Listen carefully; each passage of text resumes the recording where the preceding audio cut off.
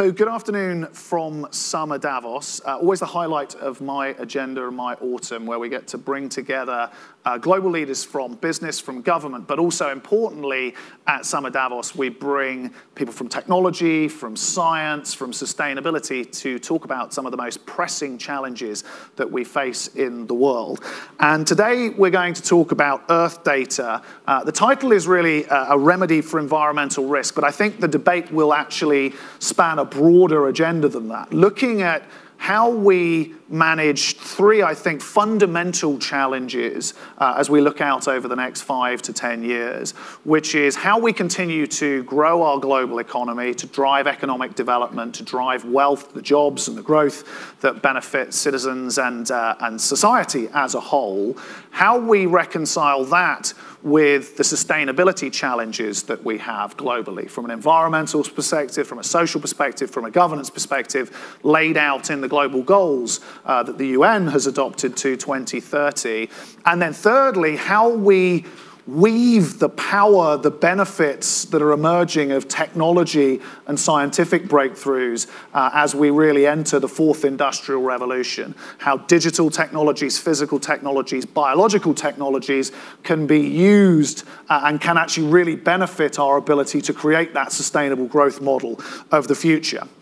And at the heart of that, or at the heart of so many of those discussions, is data and how data, if you take the uh, example of The Economist, is the new oil. If oil and coal were the, the first industrial revolution, data is going to power the fourth industrial revolution. And what I would like to get from today, with the help of the audience, is insights from the panel about how it is that data uh, in itself, but also new ways of analyzing new ways of slicing and dicing and using data to provide insight to policymakers, to business, to citizens can really help us tackle those challenges. And I'm really pleased to be joined by a fascinating panel that's going to be able to uh, really tackle that from a number of different lenses. Uh, firstly, Ursula Mueller, who's the Assistant Secretary General for Humanitarian Affairs uh, and the Deputy Emergency Relief Coordinator at the United Nations. And as we were just talking about. Um, for those of you who don't know this, you know, actually her group is the group that coordinates across all of the UN agencies to think about how the UN both raises money for emergency situations, but also how it goes about bringing the UN ecosystem in very, very tough situations around the world to help solve problems of relief. Uh, I'm also joined now at lunchtime. I saw this messed up, so I'm going to just simply refer to it as a CP group. Um, but I'm also joined by Elizabeth Xu, who is the uh, Chief Technology Officer at um, CP Group. For those of you who don't know, it's probably, if you don't know, it's probably the biggest company in the world that you don't know. Uh, a $50 billion food-based agricultural consumer goods business uh, with far-reaching supply chains and distribution chains in global food systems. Very interested in issues like food security. Uh, and then the third person that I'm going to introduce is a good friend of mine, Bruno Sanchez Andrade Nuno. Even I have to read his name, even though we've known each other for a while. Um, but also a, fantas- a fantastic um, translator, I think, in terms of science, in terms of physics, actually probably responsible for one of the most interesting sessions, I'm not just saying that, that I've ever attended with WEF, uh, which is we all use the term too lightly and too often that it's not rocket science. Well, actually, Bruno is a rocket scientist, and he actually held a fantastic session in Geneva, still one of my highlights, which was actually explaining how rocket science, and if you can get it through to someone like me as a non scientist, uh, I think you'll benefit from his insights today. And another good friend, finally, Jayne Plunkett, uh, who is the Chief Executive Officer in Asia and a member of the Group Executive Committee for Swiss Re, uh, one of the world's, if not the world's largest reinsurers, a fascinating authority on really the disruption taking place in many different fields of insurance and reinsurance and the technology backbone that's enabling you to think about risk and to help people manage risk, whether it's at country level or business level, uh, in different ways. So lots of good applications I think of, of how we think about data in the context of different elements of sustainability, from disasters to food security to the technology enablers to insurance and reinsurance. So let me start off just by asking you the first question. What's really going on in your space? What are you doing around data? What is interesting? What would you call out as being sort of the cutting edge and the potential for data to disrupt positively your sectors, not sector, I guess, your, your sphere of influence? Well, great to be here to find some, uh, discuss technological innovations to, for sustainable development, but also to respond to humanitarian needs. When the United Nations Office for the Coordination of Humanitarian Affairs puts together the global humanitarian overview, what are the global humanitarian needs for nine, for this year, they are put at 25 billion US dollars to meet the needs of 134 million people. So how does this um, trickle down? How do we assess, how do we collect the data? How do we analyze? How do we make the data relevant for decision makers? First of all, we have to collect the data in the field by looking at conflict, disaster predictions, and um, I share with you a very simple example because I know we are going into outer space when you collect the data with satellites. For instance, we monitored prices of goats in Somalia. They were going down. And UNHCR could predict the population movement into Kenya and address the needs that are arising there from the population movement, and the price of goats, believe it or not, went up in Kenya and down in Somalia. So this is a very simple way of collecting data. The Office for the Coordination of Humanitarian Affairs also has a humanitarian data center in The Hague. The purpose is really to collect data, to make data available for decision makers, and we invite partners to also um, contribute to the data sharing. So 65 million people today on the globe forcibly displaced is just a huge number. So we have to be very predictive in, in um, analyzing this data to make them really relevant for, for decision makers. Climate, every day we see climate-induced um, challenges, drought, displacement. How do we predict a famine? It's a great um, success of the United Nations system and the humanitarian partners that we were able to stave off a famine in northeastern Nigeria, South Sudan, Somalia, and Yemen due to indicators and uh, sort of we did the fundraising. We raised the alarm bells. Actually, was the Secretary General of the United Nations uh, ringing the alarm bells. There's a looming famine, and in the 21st century, we should be able to prevent a famine. So, of course, this uh, was uh, um, data that was uh, credible to do a big fundraising and what effort. kinds of data? What would you What would you go after? How would you collect it to be able to have predictive analytics? Well, for instance, the nutrition situation of the people. Huh? Um, are there stunted children? Um, is there enough food? What is the production of the crops like? Mm -hmm. You still need uh, human capacity um, to, to put together the data. So it's a lot of partners in the, in the field. Yes. And, and actually, that's not a bad segue into your industry, which is around food right. and food security. Uh, I mean, or at least a lot of the concerns in your industry around things like traceability, around provenance, customers having different uh, concerns around food security and security of supply. How are some of the data trends? What are some of the most important trends in terms of new technologies and approaches? How are you thinking about data as CTO? I think uh, uh, data is very, very important for us. So not only just food data, but also employee data, and I can mention that a second. Let's focus on food. If you like a food, food traceability is a very burning issue.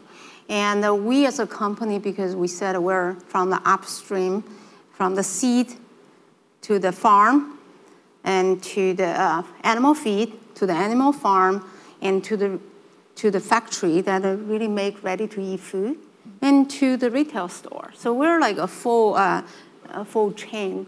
So, so you think that it's very easy for us to utilize data. Actually not, because every single um, transaction is located, the data is stored, data is there, and you really need to put a conscious effort to bring all the data together.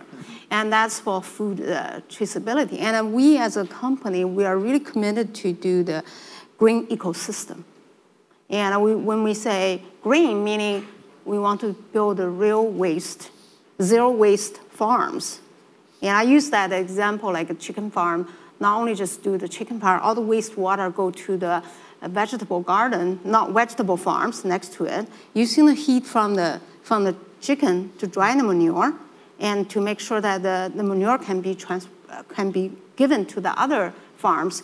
And then we have a robots going through our uh, chicken farm, which is uh, one of them is only uh, 50 miles away from here, produce 2.3 million eggs every day. We only employ the 23 people. The rest of them are all automated. That means that when you put the food and everything through the automated system, that means you collect data, you examine data, then the food can be safe. So this is what I'm saying is this is the whole supply chain, and then we have all the data about our food uh, traceability, and we're building the system to connect all the dots, and then you can scan the QR code well, to do it. And I think it's, you know, that, that is, you increasingly see in a world where if data is the new oil, you know, that currency is becoming more and more important, the ability to gather more data from more different sources, structured, unstructured. And Bruno, let me turn to you um, as my favorite WEF science geek. Um, so what are, what, are, what are some of the technology breakthroughs? What are some of the technologies that you're seeing that are most promising uh, for using digital means to gather data and to solve outcomes that are better for citizens, better for consumers, better for sustainability? So, um, in, in particular, in other industry in space, um, at our company, Satellogic, we see a revolution in so the. Can you just say briefly what the, the, the, business is about? Satellite technology. Yeah. So, so we build, basically build uh, our own satellites in Argentina, and then we launch them and operate them. And then this is the key part that we believe is not about the data it's about the answers. It's about the solutions. So of course, the worst thing you can have is no data. But probably the second worst thing is too much data. Mm-hmm. Especially in the age of big data, when you have a lot of things you can do with your data, it's extremely easy to get lost in yep. the possibilities, right? Yep. So when someone, a company uses data, they use it for a purpose. And when we are producing this amount of data, like with our satellites, then we're not saying, okay, this is data, you can use it. What we focus more and more is in solutions, is in answers, mm-hmm. right? Because it's not about, I, I think there's going to be a revolution that from big data, we're going to talk about big indicators. Because big data is, has, has maybe too much, we can, you can get lost with the possibilities you need indicators, you need answers. And big data, of course, can provide these answers, but it's about the context where this happens. When the chickens are getting, getting using infrared cameras and all these things, there's a lot of data you could do with that, which is besides the, what you're using for, but you have a real, real concrete scope for that data. And that's the thing we are seeing happening more and more in the industry in general. So does that mean for a business like yours that actually the really key insight in terms of having impact is not so much about the hardware, it's more about the software. It's about the ability to determine signal versus noise, you know, in exactly. that data. all that... of it, all of it. And we, when you are vertically integrated, like for example in, in your company, you can do a lot of um, you can get a lot of benefits from, from being integrated. In our case, for example, we can do this cloud computing, but on the satellites. It's like cloud, but even higher, right? And that allows us to really focus on these answers. And this is key for, for I mean, give us a very specific use case for the satellite data that's, that's aligned with this sustainability. You, you might not need images from your pipeline. You want to know when they break. So traditionally, you buy images every day of your pipeline. Now you can say, hey, tell me when it breaks. Mm -hmm they predicted. But of course, there are many cases in humanitarian response, mm. social impact, and many others. Broken pipelines, that sounds like an infrastructure insurance risk. That sounds like one for Jayne. So same for you. Uh, as you think about, you know, what are the breakthroughs, what technologies are enabling you to think differently about helping people manage risk in your industry? I might start by saying, what problem are we trying to solve? Because you asked at the beginning about growing our economies and pro providing more uh, sustainability and su uh, sustainable jobs for people. And when we look at the insurance industry, the, the pity that we find is that there's too much uninsured risk in the world. And we would be happy to bring that uninsured risk into the safety net of the insurance industry. And so part of what helps us to do that is a better understanding of data. But it's probably important to put that into context first. So if we look at uh, just the simple case of natural disasters, if you look across Asia alone, there were some 31 billion US dollars of economic losses last year from nat natural disasters, and less than 80% of that, or sorry, eight, more than 80% of that is uninsured. So that's the problem. When we see the typhoon coming, it's easy to think about what is this going to cost society. Um, what we worry about is why isn't more of that insured? Because by, by insuring it, it puts people back to work more quickly. And um, certainly the capital is around in the insurance industry and the solutions are there uh, to do that. And so data helps us um, to understand the risk more clearly, um, and also to understand the weather patterns and how the weather patterns are changing over time and in what different areas. It also helps us in terms of understanding cities because with urbanization, we have more and more people moving into cities, um, which are also tend to be closer to more severe weather. So understanding this landscape is important in terms of ensuring it. And, and give us an example. I mean, what kind of products would big data influence. So if I'm, you know, a, a, mayor of a city or I'm the CEO of a major corporation, you know, perhaps with an oil and gas pipe, how would it how would it change what I buy, the way I interact with you, the way it helps me manage risk? So we have a few, uh, we have many good examples of, of things uh, for cities in particular, and they tend to be around natural disasters. Um, so we often create products that are called parametric, which is basically a fancy word for saying that if X happens, then you get Y payout. Uh, so it's very specific. It doesn't require someone to go on site and look at it. So in other words, if a typhoon with a certain wind speed hits, then the government automatically gets a payout of an agreed amount, which they can then distribute to the community. Very good example, very tangible, thank you. So this is the open fire round where you get to answer the questions whichever one you would like to. But, but give me a sense, at least in each of your areas, you've, I think, listed four fascinating areas, all of which I think are at that intersection that we talked about in terms of technology, sustainability, and, and economics.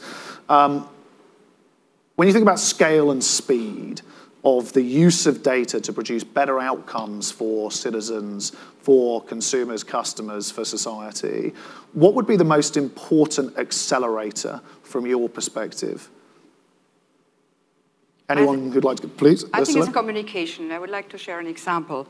For instance, when the earthquake in Mexico hit, or the um, floods in Indonesia, it was also a Chinese company, Huawei, who put up the telecommunication to share the information. So this enabled really the rapid response uh, to search for the people in the earthquake uh, or to really see where are the vulnerable peoples, people. So this is for the really very important telecommunication, mobile systems to collect the data to make them really relevant for which decision. Connectivity and communication is very helpful, yeah.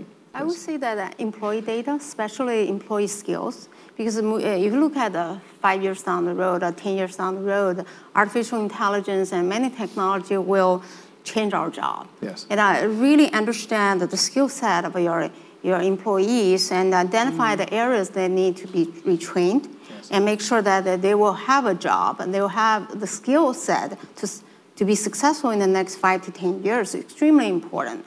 And also uh, to identify the young talent who has the right mentality and also right skill set to lead us through this Industrial 4.0 transformation, digital transformation is extremely important for us as a business. I think that's a great example. I mean, at least at Accenture, I would reflect that, um, so our chief technology officer, your sort of, uh, mm-hmm. your brother in arms in our yes. business at least, wrote a book recently called Human and Machine. And I think understanding um, the way in which work is going to be disrupted and move away from roles to tasks, some of which will be automated, some of which will be elevated where people are more capable because they have access to data and analytics, others which will be truly still human, and much more creative. And then thinking about how you plan the workforce and think about skills and identifying those gaps, I think will be a major element of sustainable development. Either we will have sustainable economic systems and models for job creation or not. Um, anyone else, the, the accelerators? I, I was going to say, I think maybe the mixture of skill sets. Um, because you know we work in the insurance industry, but we're using all this data and all these applications from from other places, and so you know it's only certain people that work that maybe are driven to work in the insurance industry if they don't realize that we use all this data to begin mm-hmm. with. So I think this mixture of industries, um, and maybe just to give you an example of of how we use it, um, we use, for example, we use satellite data um, to look at uh, all, the, all the crops uh, to know how they're performing. Um, and also to use the weather data to know what the rainfall is. And then we're able, we have a live program in Kenya where we're able to send signals to farmers to say, please check on the livestock because they probably aren't getting the right food uh, these days, which yes. is then affecting the food mm. production. Yeah. So I think if you don't realize that we do these kinds of things, you probably wouldn't come and work in the insurance industry. But it's more interesting than you might think. Well, and, and that links, I think, also back to Ursula's point about communications when you talk about the farming community. But doesn't that opportunity open up, or sorry, doesn't that that um, open up a whole new wave of opportunities for you to use data that you may already have with different partners in ways that you haven't explored before? I mean, is that something you're actively looking at? I mean, reinsurance probably one of the biggest gatherers of data in the world on, on certain topics anyway. Is that something you've looked at?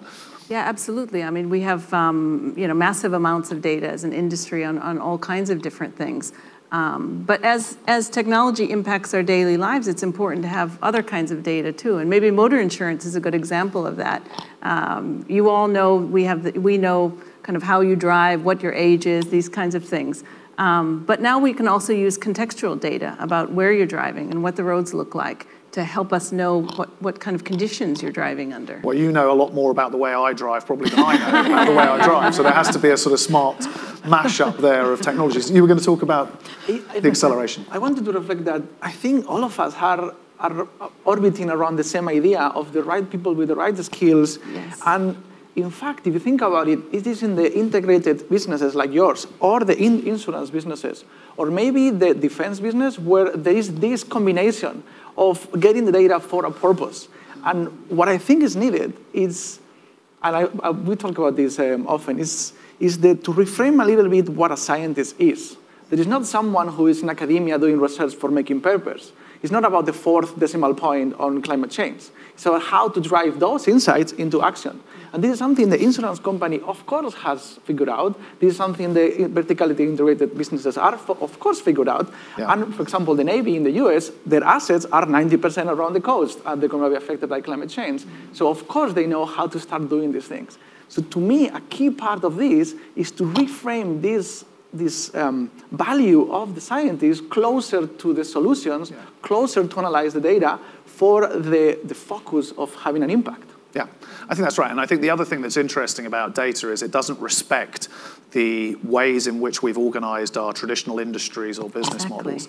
You know, so it, it, it, actually has a habit of flowing around those. And if you actually want to get to the right outcome and the right end game, it often takes an ecosystem you know, beyond the boundaries of your organization, including the scientists, including you know, other non-traditional partners that can actually help you to make breakthroughs in delivering better outcomes for citizens and for consumers.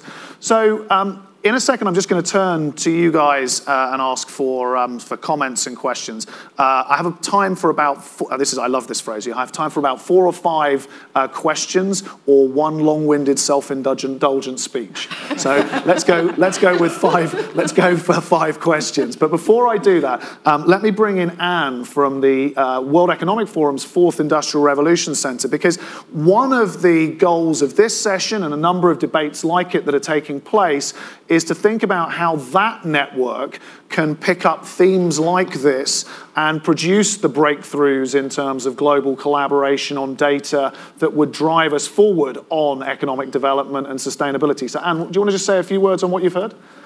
Peter. Um, I wanted to start by actually offering you an alternative metaphor. Um, so you were referring to data as the new oil, yes. and I like to refer to data as the oxygen that fuels technological innovation. Um, so I'm, I'm Anne Toth. I'm the head of data policy at the World Economic Forum's Center for the Fourth Industrial Revolution. Um, we were founded 18 months ago, and one of our very first projects was what we refer to as 4IR for the Earth, or the ways in which we look at the applications of all of the technologies of the Fourth Industrial Revolution um, in service of or in of solving the problems that are uh, facing us with respect to the environment and the Earth. Um, so we have in our data policy portfolio really sort of two very specific types of problems. One is the hyperaggregation of a lot of data in the hands of very few organizations. And the flip side of that is um, data that's sort of an inch deep and a mile wide. Uh, and it's really uh, looking at specifically humanitarian use cases, um, disaster relief, um, research, where we find that actually the problem is not enough data, not aggregated quickly enough. And so really that's the area that we're looking at, uh, the intersection of 4IR for the Earth with data policy at the center. And so this conversation is really timely and important for the work we're doing. So thank you for that. And I know you need to run, um, Anne, in a second, but, but I think if others have ideas that they think would merit attention from the 4IR Center on this topic, I think there's an open-mindedness about Absolutely, absolutely. And I actually bring with me um, a fellow who's working with us at the center, Annie Brett, who is uh, working on the data project as well as an oceans project at the center. Uh, so, so she will be here throughout and uh, look forward to engaging with all of you on this topic. So thank you. Excellent. So, no time for any long-winded speeches, but plenty of time for good questions. Please start. No, no indulgence. I uh, thank you very much for, uh, for uh, having this, uh, this panel. Thank you very much And for do being introduce here. yourself as well, Yeah, my name is Carlo Papa. I'm the managing director of a research center fully founded by one of the biggest electricity company in the world and a board member of the United Nations Alliance for Resiliency. And uh, my question is, uh, first of all, thank you very much for your uh, speeches. I, I have a problem uh, that I need to fix. Uh, that uh, you know, everyone is talking about collecting data. I'm talking with people in UN, uh, with a big insurance company, and my own industry. And uh, when I say, and I pointed out the attention that we should share more data, not essentially with my mom or with my kids, but among uh, you know infrastructure owners, insurance and insurer of a certain side, I tend to find barrier.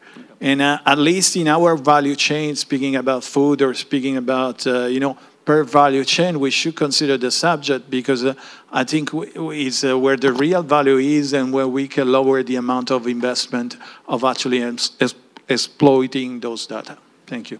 Very good. Not everyone has to, but if one or two people want to pick up the question. I, I think that one of the challenges of sharing data is uh, too much detail, preventing us to share data, even within the same com- uh, company. So my suggestion is uh, we c- distill the data into characteristics. I call the truth. Uh, the truth is, for example, when you go to the United States, they shouldn't ask you which year you were born. They should ask you, are you 21 or not? Yes, you, you're given. And then I would say that, uh, this a bottle versus all the detailed parameters of the bottle? Is this uh, uh, organic food? Uh, it really doesn't matter is chicken manure or cow manure. So it's really the abstraction uh, called the persona data should be shared, not about the detailed PI data. If we can develop that kind of a common language, then I think data can flow. Actually, it's a fact, the truth. It's not a fact, it's the truth can flow. And we should build a data sharing community around the, the truth, not about the detailed data. And Elizabeth and I attended another session earlier, which I think speaks a lot to, to your point, which is to say uh, we were talking about sustainable production systems, we we're talking about things like the circular economy. And I do think there is a role um, for clusters of companies, government actors, non government actors to come together to establish good data governance, good standards and sharing practice because one of the things that we're seeing around some of those spaces is the lack of comparability uh, or the lack of um, easy plug and play and also the duplication which has all sorts of negative ramifications in terms of things that aren't uh, able to emerge by way of innovative solutions but also even things like having five or six different cloud platforms working on one technology in the cloud actually uses energy and is all sorts of uh, you know, negative consequences there so I think there is definitely a need for that. So other questions, please. Please. And please say who you are. Hi, everyone. My name is Karuna. Sorry. Um, I am a global shaper from Mauritius. Now you have to stop there because I was a YGL a long time ago, and you guys have totally usurped us. You know, we're, we're, you're all bright and new and innovative. We're like we don't feel like young global leaders anymore with these shapers anymore. So my question is a bit linked. Um, well, it's, it's a very simple question that may be linked to the previous question, which is uh, more and more consumers want to consume sustainably. And if you're going to the, uh, to the shop, if you're going shopping, for example, how would you know what, what is the product that has the least environmental impact? Right. And that is a question that I keep asking myself because um, and I know a lot of people who want to consume sustainably, but they don't know where to start. So I'd like to ask, what, what is a good starting point in terms of comparing, especially fast-moving consumer goods, and how do we also ensure that that data is credible? How do we get industries to give that data and ensure that it's credible? I think that's a great question. From data to knowledge to insight that's actionable as a consumer so you can actually make choices. Yeah. And it doesn't need to be necessarily on fast moving consumer goods. I think that's true across almost every aspect of, of what we buy, you know, by way of goods and services. How do you determine what's sustainable, what's not sustainable? How do you make sense of data? I think that should be just traceability. I think traceability with the red data, and also we need, we as a, all the human being on the earth need to come up with the, the right measurement. Like at lunchtime, we talk about the waste, the cost of waste, and maybe uh, the cost of the all sorts of chemical in the food uh, producing uh, process that we need to have them, such model that everyone recognize. That is the cost. That doesn't come for free.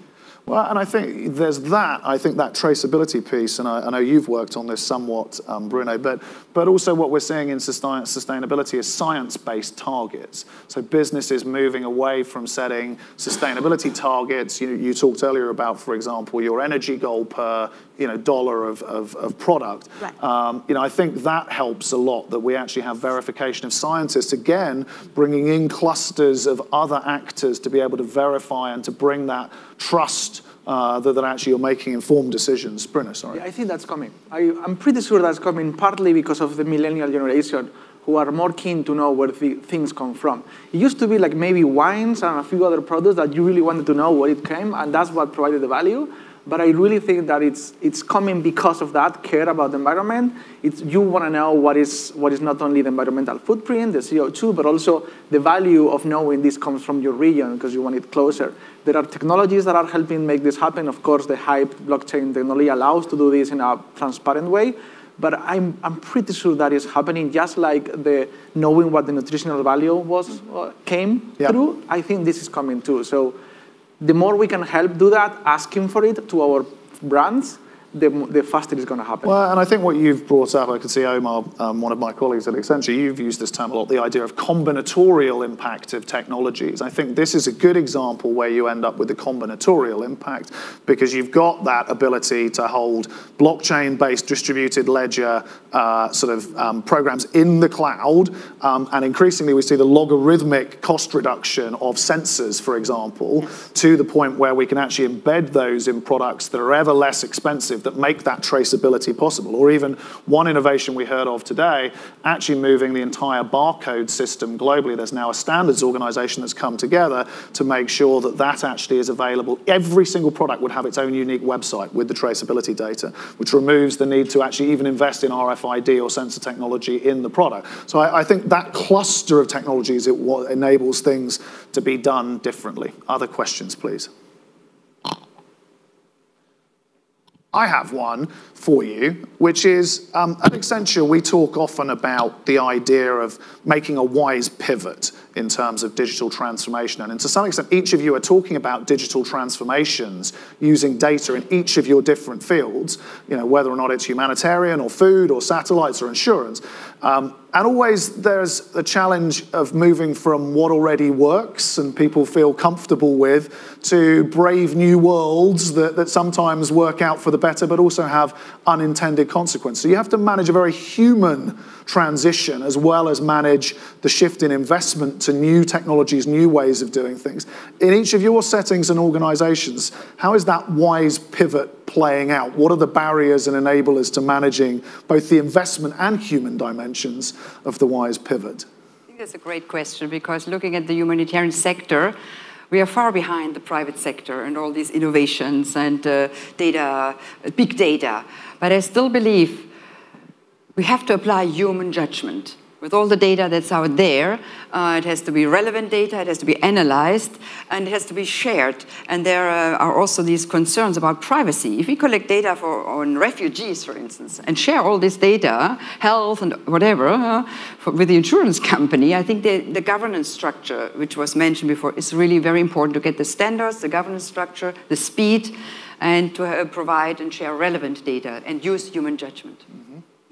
I think the human empathy is very important because uh, the, the, the biggest factor between artificial intelligence and a human are the human empathy. That human can go beyond data, go beyond the insight. That's why we don't give the button of a nuclear weapon to a machine, but rather a human, because a human will make decision based on the data, but also the love and the empathy. It's probably not a good right example because we could argue that certain know. humans may, may not necessarily make it perfectly on evidence-based decision making, but, but, But I, not by one but I take your point. Yes.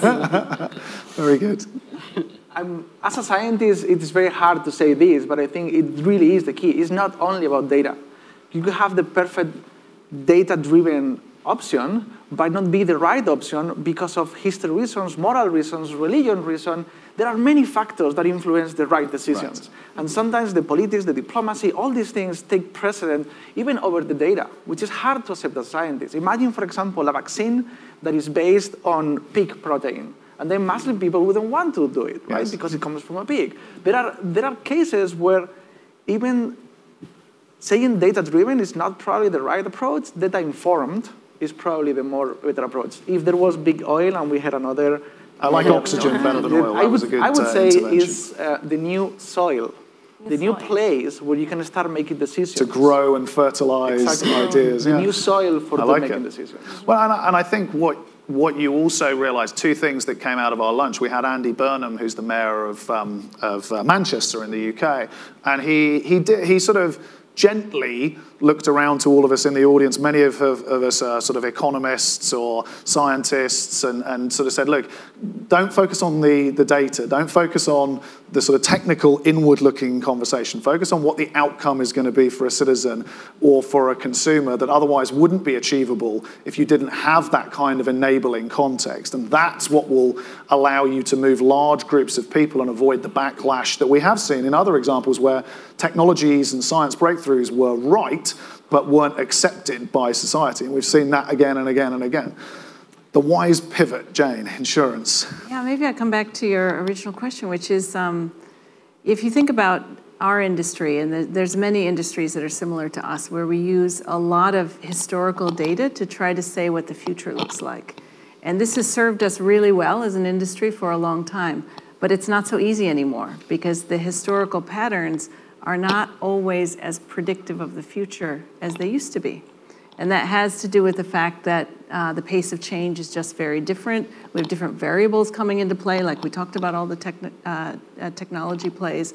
And so part of that pivot is realizing that we can always use the history because it's important that we know that, whether that's you know, st statistical history like I look at or, or other kinds of history. But we have to think about what it looks like in the future, and that's where predictive analytics and taking uh, simulation and other kinds of data comes into play. And that can be a hard leap for people who've been doing for, for years and years historical analysis on data.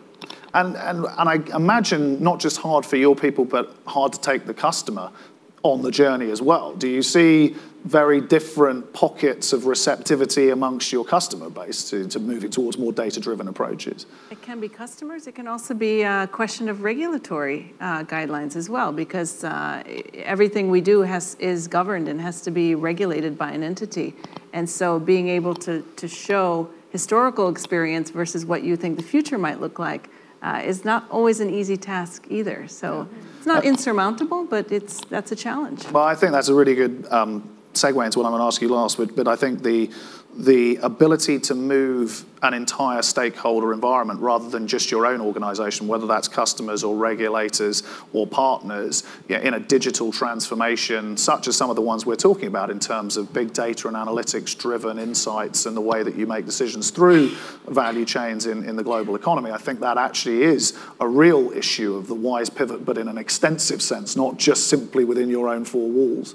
Um, so I'm going to finish off by allowing each of you a two-minute segment, or one to two-minute segment. If I say 30 seconds, it will be two minutes.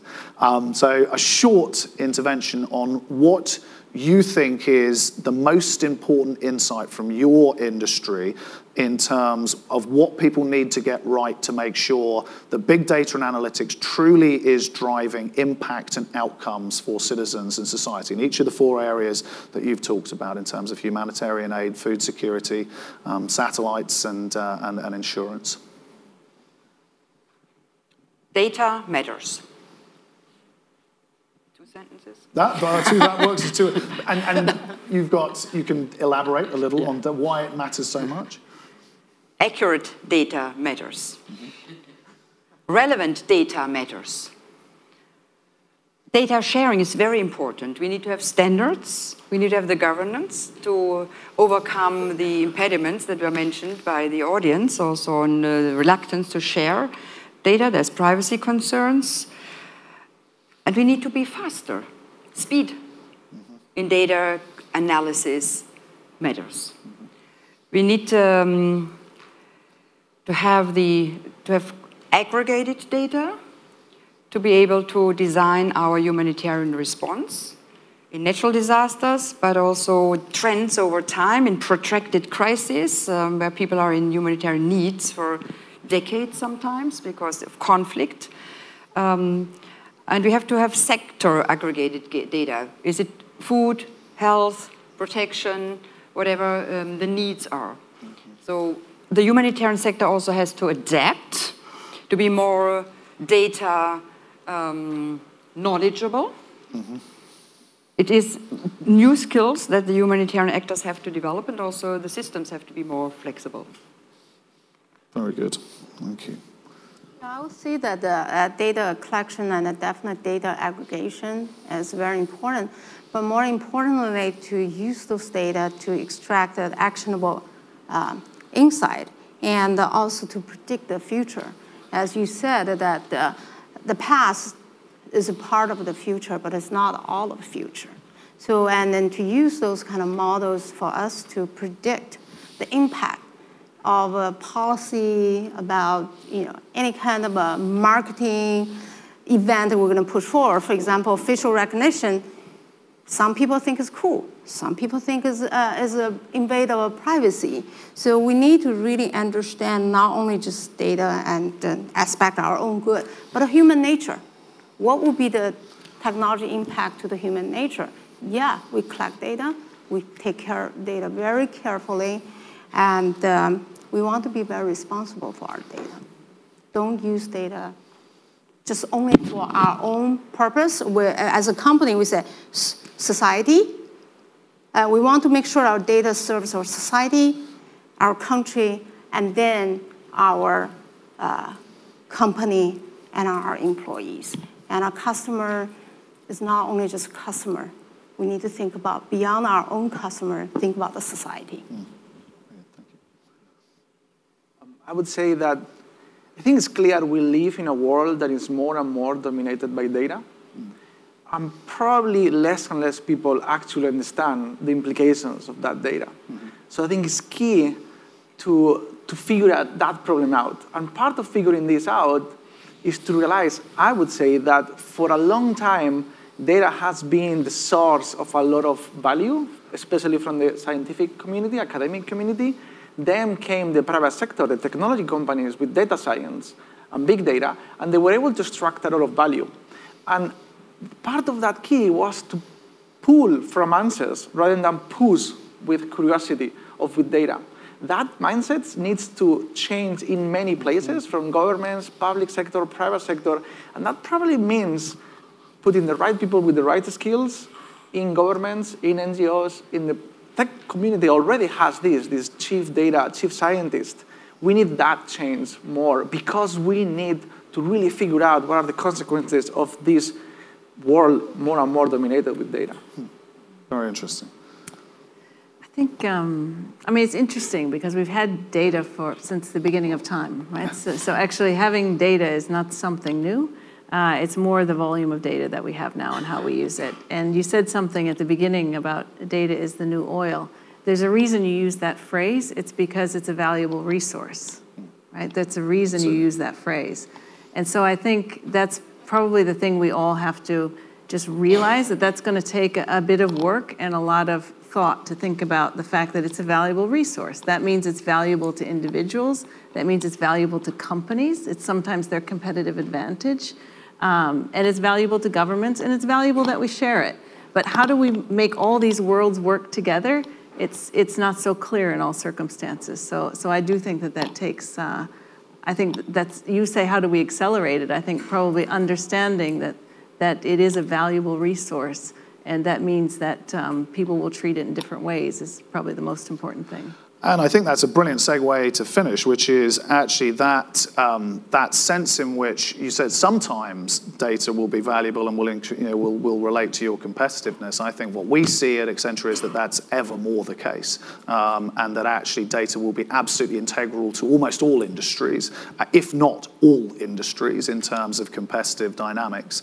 Um, and as I was writing down all the things that you were saying, uh, I was thinking, well, actually, I like the oxygen analogy, that oxygen, that data is is the new oxygen that is going to fuel economic development. And the economic development we know, at least for now, is measured in GDP. But I think this is a very different GDP for data.